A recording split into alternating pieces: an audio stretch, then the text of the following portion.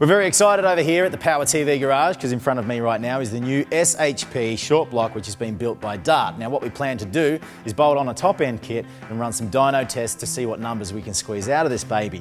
Now you might be asking what's SHP all about? Well, let's go take a look.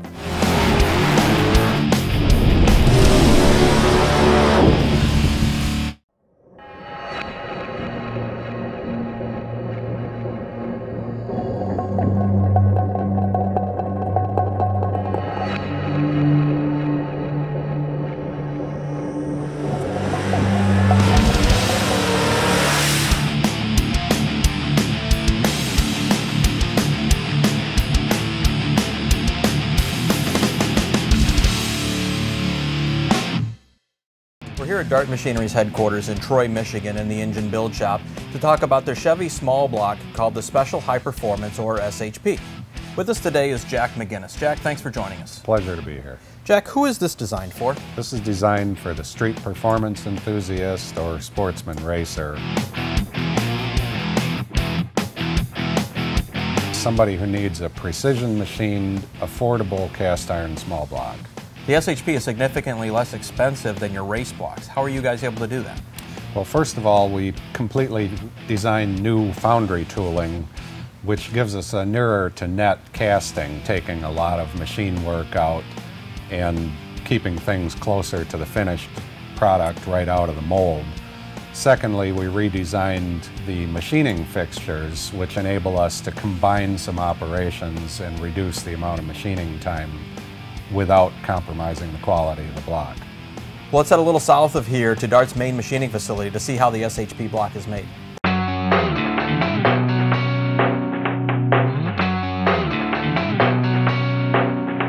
This area is where the blocks are qualified for machining and then the first operation is performed. And the qualifying that, of course, is when the raw castings come in, you're just making sure that everything is within the manufacturer's tolerance. Yes, and with the SHP block, we actually made a lot of changes to the foundry tooling, which enable us to qualify it in a lot less time than with our race type blocks, and that ultimately equates to more value for less money.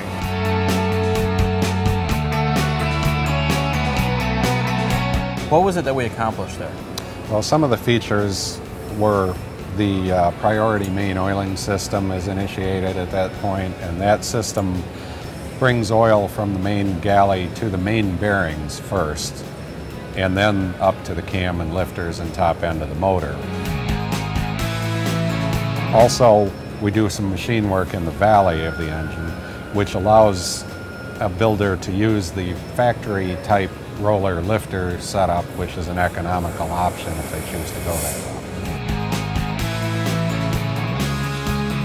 Jack, this is uh, Op 2, and I understand this is where a lot of the heavy machining is done.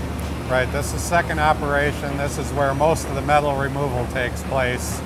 We cut the decks, bore the cylinders, bore the lifters, machine the oil pan rail, motor mounts, core plugs, all of those areas that can be accessed on a vertical axis. Is it a lengthy process? It's probably the lengthiest operation of the three, yes. Well, block is visibly different between the end of Op 1 and Op 2, and I know a lot of things have happened during Op 2. What have we accomplished here? Well, we machine the decks and we cut them so they're even in parallel for assembly. It's a extra thick deck for performance applications.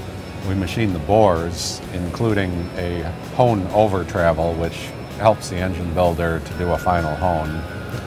We do the bolt holes for the heads, and these are blind holes. They don't go through into water, which avoids having to use a sealer on your head bolts. The block is cast with clearance, and we also do some machining to accommodate cranks up to about a 375 stroke with steel rods. So, Jack, uh, Op 3, the final stage of this facility, and one of the things I see is that the block is now in a horizontal position versus a vertical one. Why exactly is that? After Op 2, we mount the main caps to the block and fixture it on its deck, which gives us a very accurate center line to take other dimensions from. So here we bore the main bearings, the cam journal, timing cover area, bell housing area, some of the oil passage areas, and other critical items. So from here, we're going to load them up on a pallet and ship them up to the technology facility up in Troy? That's right. They go on the truck from here.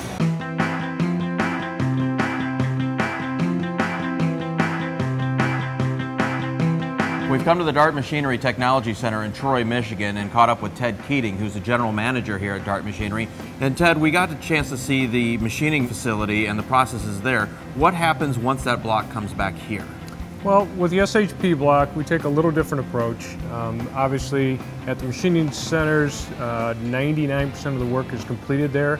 Um, we do not line hone the cams and mains. Those are bored and finished surfaces along with the decks um, all we leave for the engine builder to finish is the uh, cylinder bores.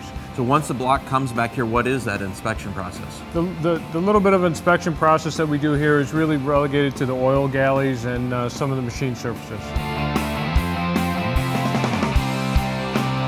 With all the technology Dart has integrated into their SHP block, there is no doubt they will be a big hit in the budget racing world.